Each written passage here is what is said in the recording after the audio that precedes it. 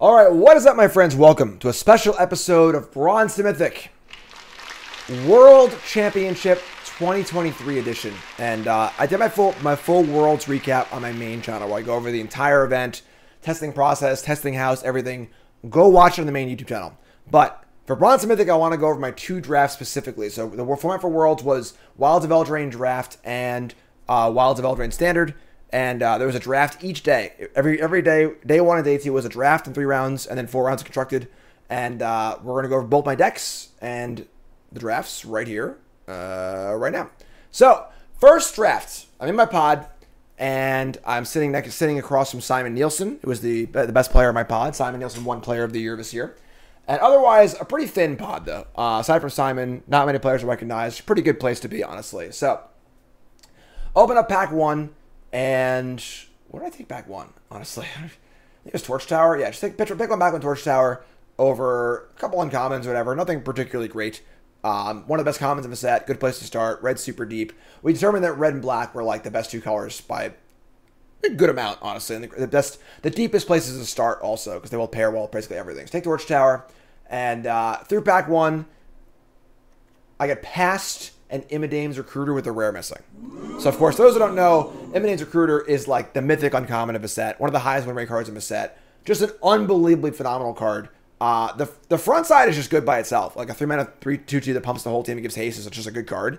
Uh, and then of course the adventure part is also just super excellent. Makes two creatures. Very common play pattern is turn five cast for two two twos. Turn six cast this another creature and just kill your opponent. So get past your recruiter, that's big game, right? Past the recruiter, um, and then uh, pack one sees me taking a few other black cards. Uh, might have been like a third pick. Uh, taking my nightmares, I think, or something like that. But after pack one, I have like, eh, maybe like two or three black cards. I think I had like one white card, a bunch of red cards, and I obviously kind of want to be white, but not a lot of white came through. And white's also never not a very deep colorless format. Uh, you know, it has two or three like really good commons, but the rest aren't that exciting. So don't mind being black red and splashing the recruiter off of uh, treasures or whatever else. Uh, had I had passed two of the two three that makes treasure in pack one, didn't come back, but is what it is. So open up pack two and I see Lord Skitter, the Sewer King, staring back at me. Okay, everybody, tuck your pants into your socks. Obviously, a phenomenally good rare, uh, just really really good card in general, and sort of like okay, I think that's my spot. I now I've now I've you know selected my my second color. I'm gonna be black. So pick up Lord Skitter. Uh, pick up a few other cards here or there, maybe Mintstrosity or something like that. You know, so decent you know pool of cards going to pack three. Pretty solidly red black. Uh, no fixing, unfortunately, though. Couldn't really find any fixing to make the white aside from one Grabby Giant.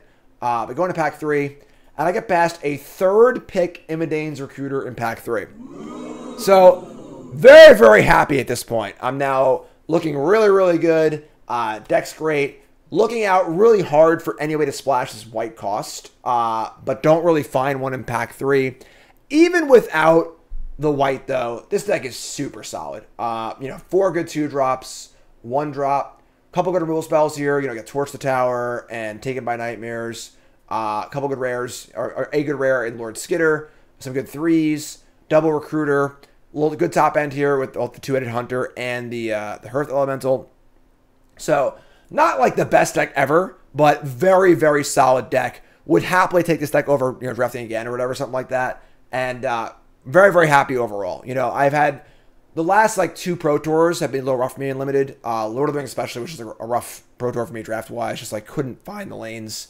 Uh, and like one two bolt drafts. So very happy to starting off Worlds here with a good draft deck. I also we didn't spend enough time drafting, honestly, probably for this event. We did a lot of constructed, uh, which is kind of the converse that we usually do. So pretty happy. And uh, in a pod draft, also, you got to remember that in Worlds, you're playing in your pod. So you're playing with all the players you drafted with. And a lot of times, what happens on Arena is you're in a pod with like a bronze player, a bronze player, a silver player, a gold player, a mythic player, and like you're not, you know, you just get really, really good decks, and you don't play against those people because they're just in, you know, they're in bronze and whatever. So you know, in a pod draft, you're playing a bunch of good players. You know, you don't see fourth pick candy grapple or whatever. You know, that never never happens in a, player of good of good decks. So deck was great. Playing against Simon Nielsen round one, uh, he has like a, a, pretty cool red green deck based around seeds of, seasons of growth. We have a close match Uh, he miscounts damage on one turn. I just kill him the next turn, and then I win game two also. Uh, both Imodane's Recruiter and just good draws, and uh, very, very happy playing Simon in the first round and beating him because Simon's the best player in the pod by far. Uh, so now I've cleared out the best player. I have a very, very solid deck, and I'm very, very happy. And then shit just goes wrong. Um, next two rounds, every possible bad thing that could happen to happen to me happened. Um, you know, uh, next round I keep like mountain, mountain, plains, red card, red card, red card, black card, or something like that. Draw black card, black card, black card, black card, black card, black card, yada yada yada. Whatever. Next game, flood really bad. Whatever. You get. You know, I'm not gonna tell the the million bad beat stories. Basically, everything that could possibly go wrong went wrong over the next two rounds. Uh, I know. Uh, my second round, I was playing as my opponent was green black, and I just flooded like insanely hard. And I didn't draw either recruiter, and I had so I had so much mana in play. I could have just like you know played the adventure and played the recruiter all at once and attacked for like almost lethal, and just like you know land, land, land to the point where I saw CGB on Sunday, and CGB was watching the match from the from the rail, and then Ely was sitting next to me, and CGB said that Ely came up and went over to him and told my bad beat story for me because I drew I drew that many lands, you know, just like super super awkward. So, and then round three, same same thing. I just like just drew really really badly. Uh, mulligan to five in the first game, just like whatever. So end up one two, and I'm pretty sad honestly because this deck was excellent. You know, um, I would definitely expect a two one minimum, and this is definitely like that like, that should three zero pod at a high level event. So pretty uh pretty sad honestly.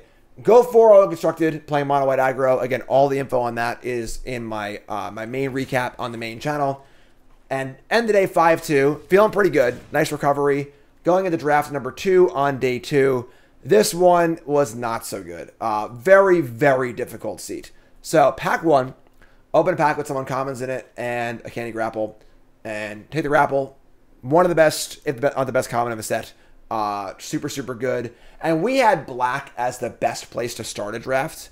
Because even if we thought the torch was a little bit better than candy grapple, uh, black pairs well with every color, whereas red doesn't pair very, very well with green or blue. So, like, black is like the place you want to start a draft, you know? So, take candy grapple. Pack one's looking pretty good.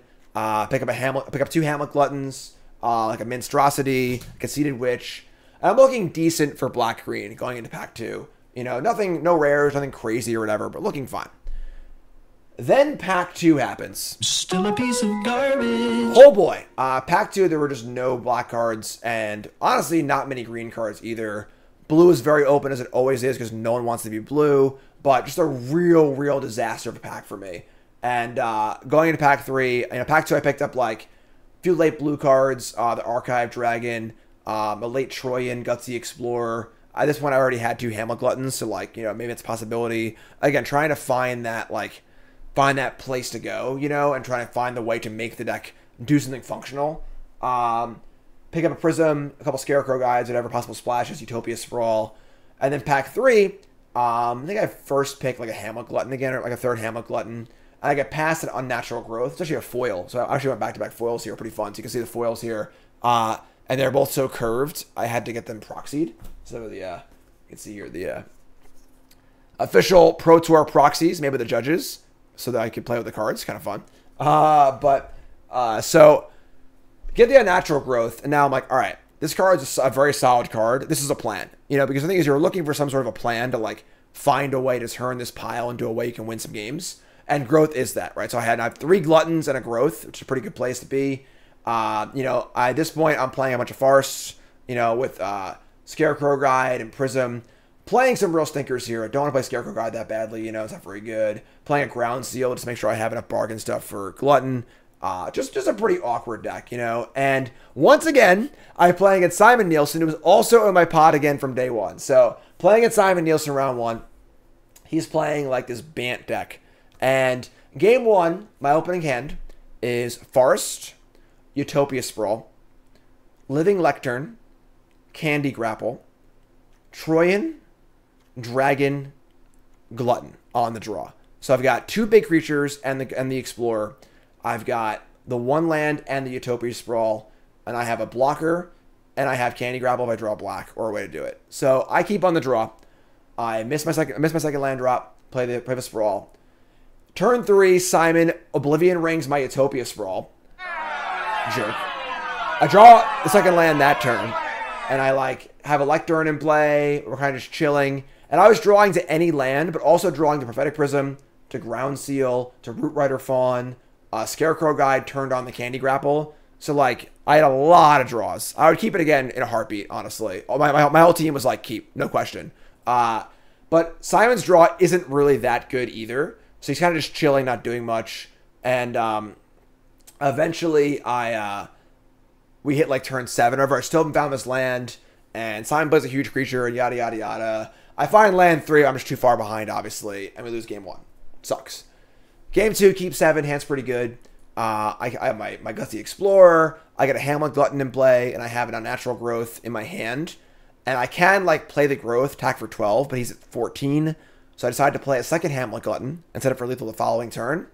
And he casts the freaking Wrath of God. Name six, kills both Gluttons, and just destroys me. And uh, his deck was, like, pretty good but clunky. And, like, pretty bummer way to start uh, the first match. Obviously, my, my scrappy, crappy deck, you know, uh, almost gets there against uh, Simon's pretty good deck. Simon did three of the pod also, and then the next two rounds were just a bunch of shit. Honestly, I just like deck wasn't very good. My my next opponent was red green. Went turn turn one drop, two drop, turn three Garrick Saga, turn four sack the one drop, get Godric, play Godric, just like wrecks me. And the game two, I just threw a bunch of lands and whatever. And then the games weren't very good. but, my, my, that wasn't very good either, though. And then the third round, my opponent was blue black fairies. Uh, I mulled to five, he mulled to six, and he just like had a good fairy curve and just kind of like got me. And it just sucked, honestly. Deck wasn't great, but draws are pretty bad also. And unfortunately, I, I 0-3 the draft. Not so good. So bringing me, uh, you know, 1-2 with that really, really good deck and then 0-3 with this deck. I would think the first deck is a 3-0, at least a 2-1.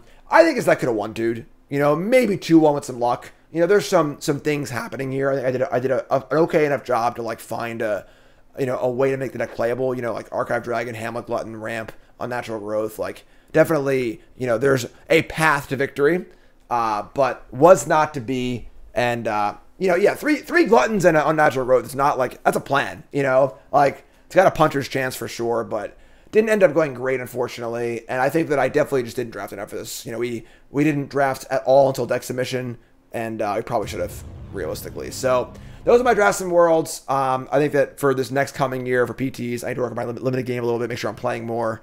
Um, I only got I got less than 20 drafts in before worlds, uh, and uh, it wasn't really enough at all. So is what it is. So that's my recap. Again, you want to watch the full recap on the main channel, going over the entire event. I came in 40th, won $9,000, but all the details will be in that video. Check that one out. Want to focus on just draft decks here. And then Bronze Mythic will return uh, regular scheduled programming uh, next, uh, next, whatever the next episode should be. So, YouTube folks, love you. Like, comment, subscribe. Let me know what you think. All right. Thanks, folks. Appreciate it.